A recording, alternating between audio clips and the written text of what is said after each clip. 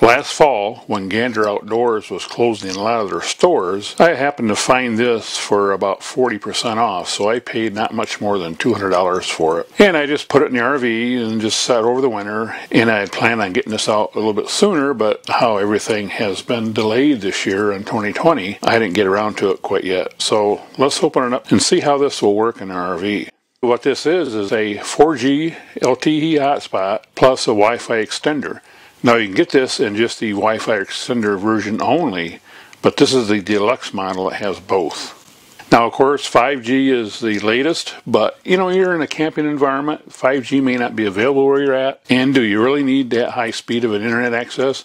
And the way the box opens up is kind of strange. It kind of opens from the bottom and it just kind of folds out as a clamshell. I've known about this product for some time, and this is supposed to go on the roof of your RV, and the only thing going inside is just a power cord. And one thing I really don't like is that the SIM card is in a little port here. And I don't know how they would do it differently, but it would have been nice if this was inside somewhere. That means if you want to change a SIM card, you're going to have to climb out onto the roof. On the other hand, how often are you going to have to do that? And you get a bag of parts with another cable, and this connector mates with this one. Then you have a gland that fits on the roof so that the cable can go through, and a couple bags of hardware, an on-off switch with a bezel, and a couple more screws and connectors. In addition to the Winegard data plan, you also have an AT&T or Verizon data plan capability depending on the SIM card you use. And to obtain service from another provider, your device should have an IMEI number, which can be found either on the device itself, the owner's manual, or even the box that the device came in. The IMEI is sort of like a phone number, and it uniquely identifies your device to the cellular system. I then contacted Verizon and gave them my IMEI number. They recognized the number as valid, but they said it's not compatible with their system, so they can't help me. I then contacted Winegard. They directed me to this Verizon web page. You can enter your IMEI number and Verizon will tell you whether or not that's compatible with their system. So let's enter my IMEI number. Here's the result. So why did I know this was going to happen? You know, sometimes corporate America, the bureaucracy is just as bad as the government a big goose egg to Verizon. And what about AT&T? AT&T used to have a very good plan. They had unlimited data for 30 bucks a month. A lot of RVers bought it. However, in mid-January 2020, AT&T discontinued that service and now you have to pay a higher rate. The 2Go system is similar to the Connect 2.0 except that originally it would only work with AT&T and to the credit, Winegard modified the 2Go system so that it will work with the Winegard network service, AT&T, and hopefully Verizon. But I wouldn't hold my breath on that one.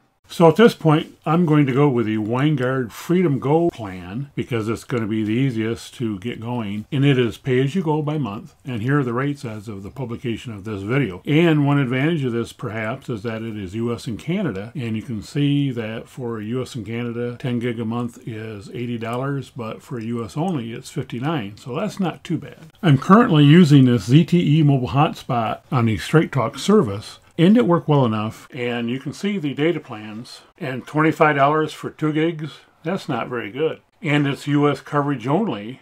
Compare that to the Winegard $35 plan for 3 gig with US and Canada.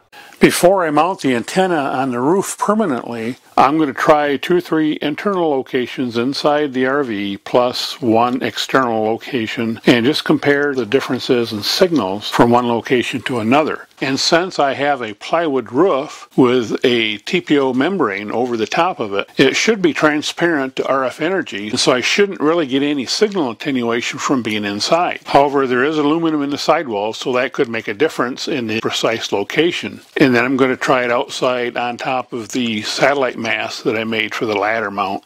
For example, this cabinet at the rear of the coach, the antenna just fits inside. And for now, I simply wired this to an accessory outlet, and I have an accessory outlet up here, I can just plug that in for power. I'm not really going to go over the step-by-step instructions on how to get connected initially because it's pretty well covered in the manual and it even includes sample screens on what it should look like and I found it to be pretty accurate, not really any issues. However, it did recommend to update the software, which I did, and so that's the only real thing that we had to do. And I did sign up for the 10 gigabit plan for one month just to see how it works. And the device looks like a web page, so basically you just migrate to the web page to make any changes. And it does have a signal strength meter, and setting inside the cabinet, I show a 96% signal strength, so that's pretty good. And next, I put the antenna on top of the hutch, so we'll try it there. This is about the center of the coach, front to back and side to side, so this has minimum interference between any aluminum structure on the sides of the RV. And the console says that here we have a 64% signal strength so this definitely is not as good as in the back cabinet. And I've said it before, a little power supply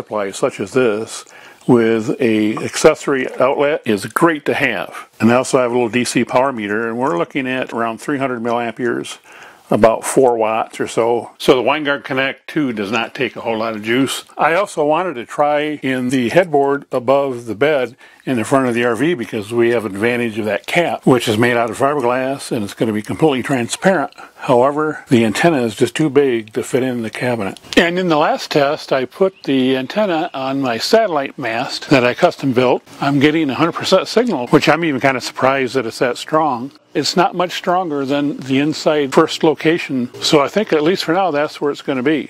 So I'm going to call this project done, at least for now, and I will do a long-term review if I see any differences, but we're going to try it for a while and see how it works.